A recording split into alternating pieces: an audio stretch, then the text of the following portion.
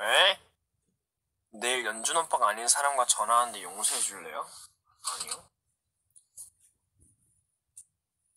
눈 돌리네. 혼날라고. 하지 마요.